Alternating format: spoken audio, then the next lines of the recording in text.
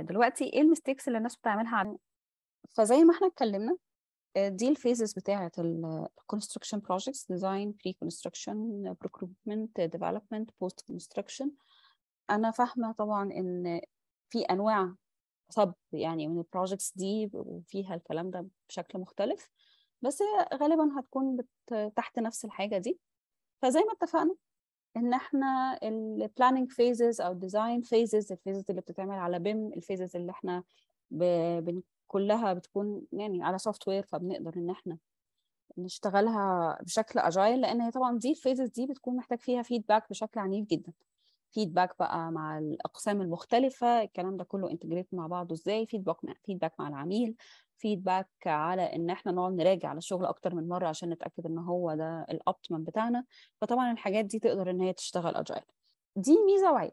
ميزة إن أنت آه تقدر تستغل ال feedback وتشتغل agile ما يبقاش بقى ما تجيش بعد ال execution تكتشف إن عندك مشاكل تصميم. في مشاريع كتير بتقف خالص بسبب حاجة زي كده إن هو بيجي في ال execution يكتشف إن عنده مشكلة تصميم خصوصا لو برج كبير أو حاجة فبنلاقي طبعا إن دي مشكلة كبيرة بتهدد المشروع كله على بعضه. فكل كل ما تزود ال feedback في ال level بتاعة التصميم كل ما ده هي... هيساعدك إن أنت تنفذ مشروع كويس. يمكن مشكلة ده ولا بيتعارض مع ال agile mindset إن هو مش end to end بس طبعا إحنا متفهمين وقات في فكرة ال execution زي ما كان. فدي حاجة.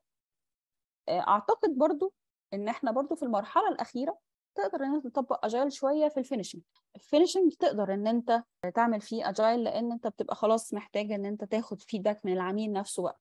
الراجل اللي هيستلم هو زي حالاتي كده ما بفهمش أي حاجة في ال في ال construction وتبدأ إن أنت برضو تشوف ال design بتاع ال finishing ده عامل إزاي ال design الألوان والأشكال وال design نفسها بتاعة الديكور والحاجات دي كلها. فدي برضو phase تقدر إن أنت تشتغل فيها agile وتقدر إن أنت تنفذ بسرعة علشان تشوف رأي العميل إيه وال...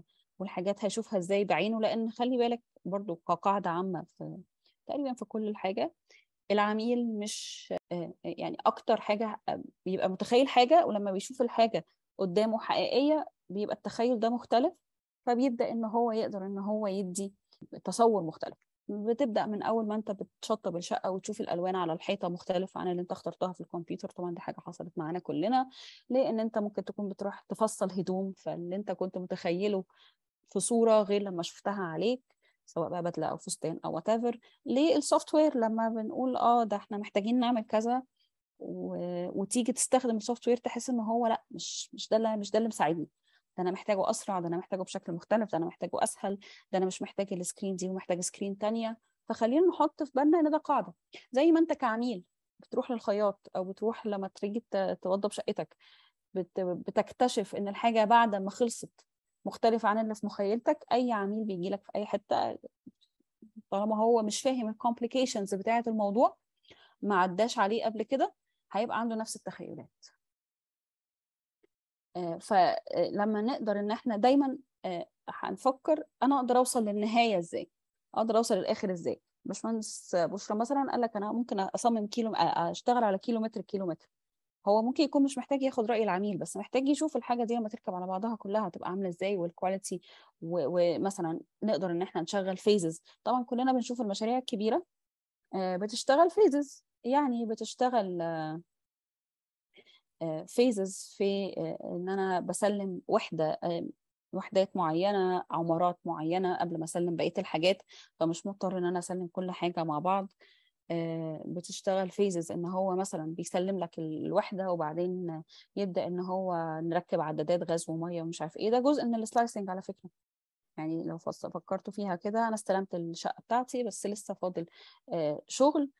هو في حد ذاته vertical لوحده أقدر إن أنا أخده بعدين.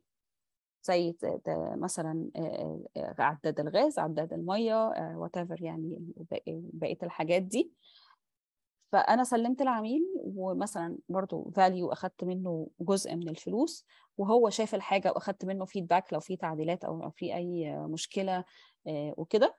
وبقيه الحاجات بتتسلم مع الوقت. هو الشغل كده ولا كده هيخلص وهياخد نفس الوقت. هي الفكرة في طريقة التسليم. تمام؟